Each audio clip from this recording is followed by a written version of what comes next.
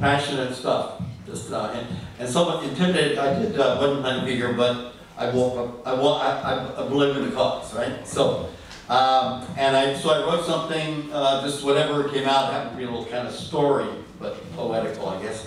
And I want to say one thing, because my other gig I used to be was a lawyer, and when I hear climate change, I tend to think that way a little bit, in a certain way. So, um, a friend of mine uh, approached John Kerry once, that he had an investment scheme to put out in Congress to create green bonds. That is, the federal government would, would, would, would support a bond issue for green energy projects. Sounds pretty good, I would hope, if I may.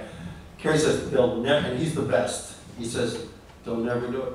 They just won't do it. And, uh, you know, but what an idea, right? Government has green bond. And that's how they finance large-scale things. Uh, anyway, this, um, it has a title of climate change, and this is his scribble. I thought I'd be dead before it mattered. I thought, I thought I'd be dead, I would not, I'm not, I'm not have to worry about it. But now I know different. Not only do I see it, it's already happened. Uh, when I was kid, with my driving with my mother, and it is South Florida, humid, hot, greasy, musky, mid 50s. No air conditioning, but best years ever for cars. And I get intoxicated in the gas from the exhaust of the bus pipe, the exhaust pipe of the bus ahead in front of the car, with, our car with a raked uh, back split windshield and spin down windows open. Said, Smells good. Get closer, Mom. It's really a poison. It's called carbon monoxide. But I don't see it because it's invisible.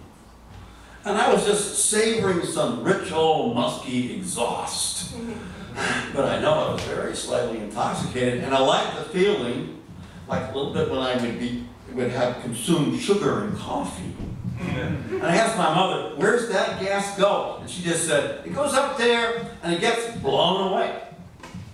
And uh, will it fill up one day, you know, the sky? I don't think it'll fill up. There's a lot of air. And I knew she didn't know shit like me. so now we're rolling tsunami, freak storms, and most relevantly, Miami Beach is getting having seawater upheavals in the street. Uh, from the immediate limestone uh, beneath it being inundated by the rising sea. And that is real estate, and that's gonna make that governor dare stop lying. And the sky is also filled up with cow farts, uh, more exhaust, and lots and lots of oily products burn off from fossil fuels, which our immediate ancestors needed to survive. And almighty coal, which uh, our ancestors, which, which uh, fed our, our ancestors in their winter shacks. And, they, and they weren't getting all they needed from the whales, goddammit.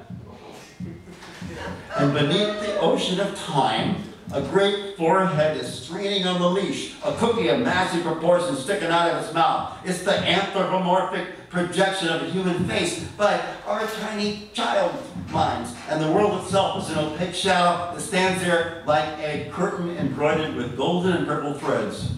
So it has a happy ending.